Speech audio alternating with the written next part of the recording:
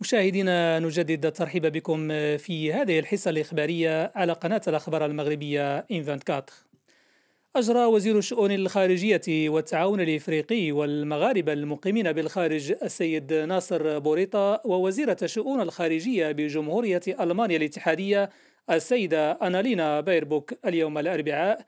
ولأول مرة مباحثات تمت عبر تقنية الاتصال المرئي أشاد خلالها بمحتوى الرسائل المتبادلة بين فخامة رئيس جمهورية ألمانيا الاتحادية السيد فرانك فالتر شتاينماير وصاحب الجلالة الملك محمد السادس والتي أكد فيها على المصلحة المتبادلة في تأسيس شراكة جديدة بين البلدين. المباحثات كانت مناسبة على الخصوص للاتفاق على إعطاء نفس جديد للعلاقات الثنائية وعلى إطلاق حوار جديد يهدف إلى تجاوز سوء الفهم الطارئ وكذا تعميق العلاقات الثنائية متعددة الأوجه وعلى ضرورة استئناف التعاون ليشمل جميع المجالات وبانخراط جميع الفاعلين. للوقوف عند فحوى هذه المباحثات والسياق الجديد الذي يحكم العلاقات المغربية الألمانية وآفاق تعزيزها وتطويرها يسرنا أن نستضيف اليوم ضمن فقرة ضيف المساء المحلل السياسي عبد الفتاح نعوم. دكتور مرحبا بك. أهلا وسهلا سيد مغيث مرحبا. دكتور يعني هناك مباحثات يعني كرست الإطار الجديد الذي بات يحكم العلاقات المغربية الألمانية، كيف ترون هذا الإطار الجديد؟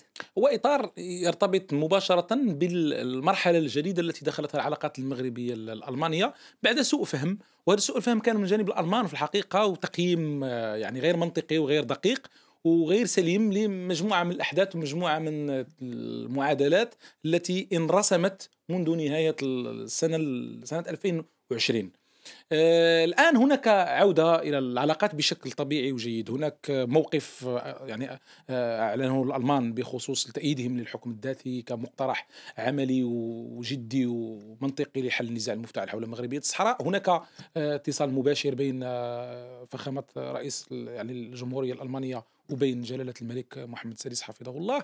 الآن هناك اتصال يعني هناك آه، بين وزير الخارجية المغربي وبين وزيرة الخارجية الألمانية. إذا هناك آه، سلسلة من الأحداث المتتالية المترابطة آه، بين البلدين تؤكد أنه هناك تطابق الآن في وجهات النظر. هذا من ناحية يعني من ناحية الأحداث في حد ذاتها. من ناحية الاستراتيجية في التوقيت دلالة التوقيت الذي تعود فيه العلاقات بهذه الطريقة وبهذا الزخم وبهذا الشكل آه، مرتبطة مباشرة بما يجري في القارة الأوروبية وبما يجري في آه، غرب إفريقيا وفي القارة الإفريقية. لأنه إذا عدنا مثلا إلى الموقف المعلن من الخارجية الالمانيه والذي دشن هذه المرحلة الجديدة وهذه الانعطافة. كان الحديث على أنه ألمانيا تتمسك بالشراكة مع المغرب كشريك وكحليف موثوق وك يعني شريك وك يعني على بلد الشراكة معه أساسية للدخول إلى القارة الإفريقية. لا يمكن الذهاب إلى القارة الإفريقية دون أن تكون لديك شراكة مع المغرب. اذا الألمان فهموا بعد سوء الفهم وبعد كل يعني الحسابات المغلوطة التي كان قد ينجروا إليها بسبب مجموعة من تداعيات لعب فيها الجيران يعني لعبتهم الأساسية. كان هناك حتى يعني لاعب للإسبان ولجزء من الإسبان بشكل أساسي. الآن عادوا إلى جدة الصواب. لماذا؟ لأنه المغرب الآن يشرف على أهم مشروع سيكون فيه له السيادة والريادة على المستوى الطاقي. يعني السيادة الطاقية والريادة الطاقية. ليس مجرد الحديث عن جسر ينقل غاز نيجيريا من نيجيريا إلى القارة الأوروبية وإنما الحديث عن ربط طاقي بين دول غرب القارة الإفريقية يعني 12 دولة مرتبط بالتنمية مرتبط بالكهرباء مرتبط بالهيدروجين مرتبط بالقضايا الأساسية التي ألمانيا لديها فيها الخبرة على مستوى البنية التحتية. يعني يجب أن نعرف أنه البنية التحتية الألمانية هي التي تنقل كل الغاز وهي التي توزع الغاز يعني المغرب لديه مؤهلات وموارد. إذا هذه الشراكة هي شراكة آتية من ما يحدث الآن في القارة الأوروبية من آه، اختبار للقوة. يجري الآن لأنه كل ما يحدث الآن في القارة الأوروبية من تنافس روسي أمريكي تنافس بين روسيا وبين الناتو في القارة الأوروبية هو اختبار للقوى عنوانه البارز هو ما يجري داخل الاتحاد الأوروبي من تحولات ما يجري داخل الاتحاد الأوروبي من معادلات تكشف عن قوى جديدة تحت مستوى الاتحاد الأوروبي وأنا تكلمت مرارا عن هذا الموضوع أنه الاتحاد الأوروبي الآن هناك مستوى يعني مجموعات أخرى قوى أخرى آه، معادلات أخرى يجري الإفراج عنها داخل الاتحاد الأوروبي. ما يجري هناك وما يجري هنا الربط فيه والعقدة التي تتلقى فيها كل هذه التحولات بين القارة الإفريقية والقارة الأوروبية هو هذا البلد هذا نعم، البلد هو المغرب آه، الذي تمكن بفكرة بسيطة تمكن نعم. بشراكاته تمكن بذكائه الاستراتيجي لدى قيادته العليا من أن يجلب القوى العظمى مثل مثلا الآن نتحدث عن ألمانيا إلى هذا المفهوم الجديد. نعم دكتور أشرتم إلى قطاع الطاقات المتجددة يعني آه والهيدروجين على الخصوص. يعني آه البلدان الجانبان آه، اتفقا خلال بعد هذه المباحثات السيد بوريطا والسيدة آه بايربوك اتفقا على إعطاء نفس جديد للعلاقات الثنائية.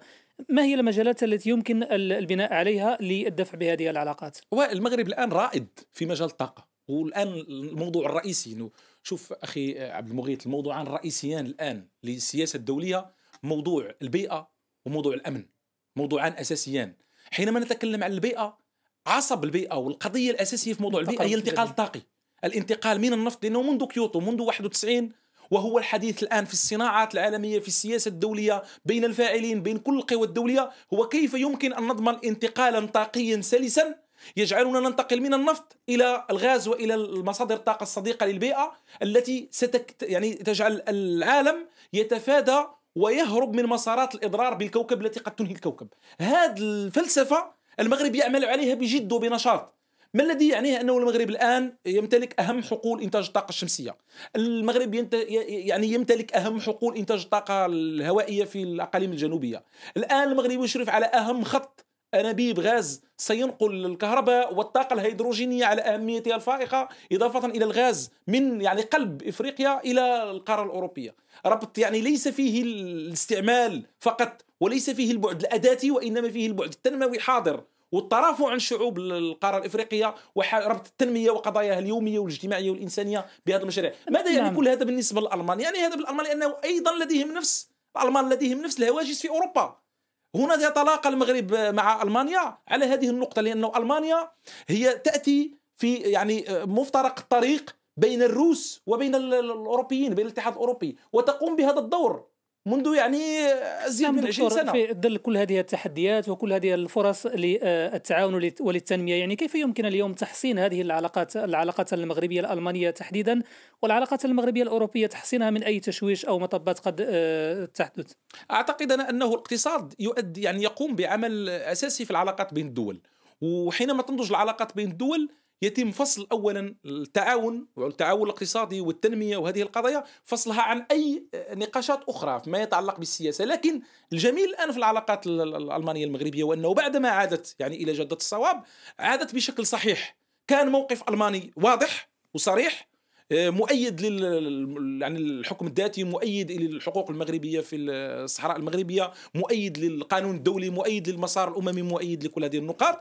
وفي نفس الوقت كان هناك آه، قدر من التعاطي الدبلوماسي. مثلا حتى الألمان الآن يقومون بشكل دؤوب بشكل آه، يعني مباشر يشتغلون حتى على آه، آه، تدقيق من السفراء الذين يمكنهم أن يكونوا سفراء في المغرب ويؤدون أداء جيد دبلوماسي. من أجل تحصين هذه العلاقات من آه، من من أي انزلاقات مستقبلية. لأنه ما معنى أن تقوم ال- ال- ألمانيا بالعودة بهذه الطريقة إلى العلاقات مع المغرب؟ وتجد أنه المغرب بلد مسؤول يؤمن بالحوار يؤمن بالدبلوماسية يؤمن بتصحيح الأخطاء. يعني يقبل من يريد أن يصحح أخطاء وهذه رسالة للجيران أيضا.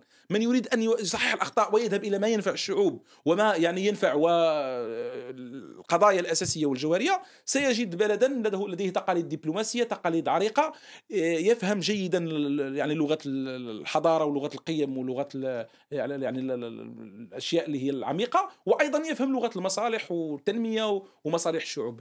الذي سيحسن هذه العلاقة ويحميها هو الاشتغال على آه، تاثير الأجواء الدبلوماسية بهذه الطريقة والألمان واعون بذلك. وإلا لما كان الألمان قد أخذوا قدرا من الوقت لكي يعني يختاروا أفضل السبل الدبلوماسية بما فيها قلت الآن. يعني يج- يجري الآن في ألمانيا اختيار لأفضل يعني من سيكون هذا هو النقاش الآن الدائر عند الألمان.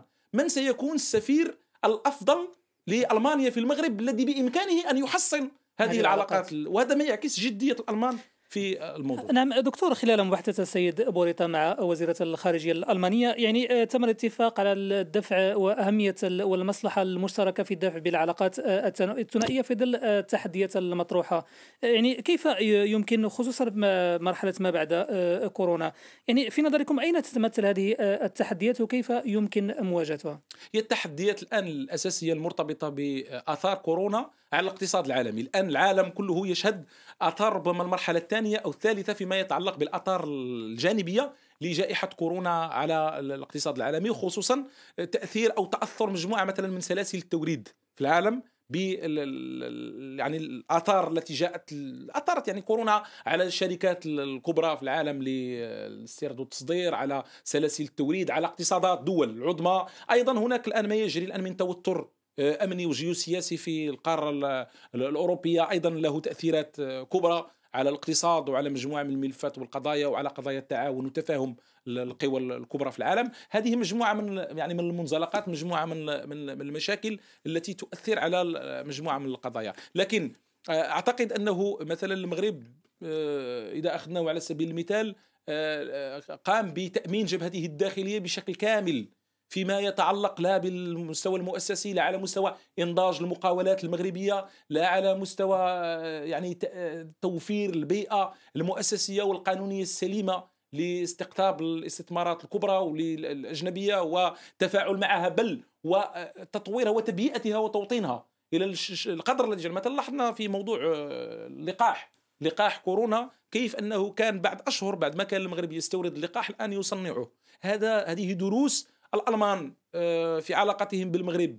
يعني مستوعبون لهذا البعد عند المغرب ويتفاعلون معه على أساس أنه شراكة رابح رابح والذهاب صوب تصفية وتحييد المخاطر عن المكاسب آه، يحتاج ربما بعض الوقت. لكن المهم هو أنه الطريق مرسوم بشكل صحيح وبشكل سليم ويمضي إلى ما ينبغي أن يمضي إليه القطار في النهاية. نعم نعم خلال الأسابيع المقبلة سيتم تحديد الخطوط العريضة للرامي آه، إلى تجديد وتعميق الحوار والتعاون لمواجهة التحديات المستقبلية الإقليمية آه، الشاملة يعني في نظركم آه، كيف يمكن أن تكون هذه الملامح أو ملامح هذه الخطوط العريضة؟ هي اولا أساسا هناك اتفاق الآن يعني بين الألمان وبين المملكة المغربية قوامه هذا الاتفاق هو انه هناك التقاء للرؤى أو تطابق للرؤى لوجهات النظر بخصوص عدد من الملفات يعني إذا تطابق الألمان يعني إذا اتفق الألمان مع المغرب على القضية الجوهرية بالنسبة للمغرب في سياسته الخارجية والداخلية اللي هي قضية مغربيه الصحراء.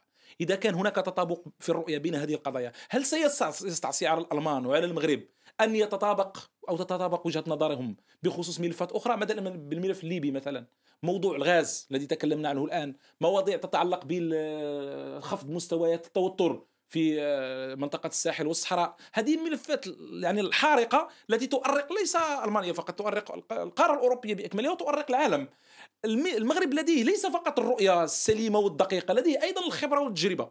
وما دام استطاع المغرب بثباته وبصموده وبنضاله الدبلوماسي أن يجلب دولة مثل ألمانيا لكي تغير وجهة نظرها وتأتي إلى وجهة نظر المغربية وتؤكد عليها وتشيد بها اذا فهو قادر على أن يعني هو الآن المغرب يحوز ثقة القوى العظمى كلها ليس ألمانيا فقط. يعني جميع دول العالم حتى الولايات المتحدة الأمريكية كندا بريطانيا الاتحاد الأوروبي بأكمله كل القوى العظمى الآن الصين كلها تتبنى وجهة نظر المغرب بخصوص ما يجري وما يعتمد داخل القارة الإفريقية. لأنه داخل القارة الإفريقية الآن تنسج جميع قضايا السياسة الدولية المعاصرة. بدءا بموضوع المجامع الإرهابية والتطرف موضوع التجاره في البشر قضايا الهجرة مشكلة البيئة قضايا الغاز الطاقة والطاقة الجديدة والمصادر الطاقة الجديدة. كل هذه القضايا من الممسك الآن بزمام اللعبة وبخيوط اللعبة في كل هذه المنطقة. هو المغرب هو البلد الذي راكم طوال عقود من الزمن وزخم هذه المراكمة ديالو خلال العقدين الماضيين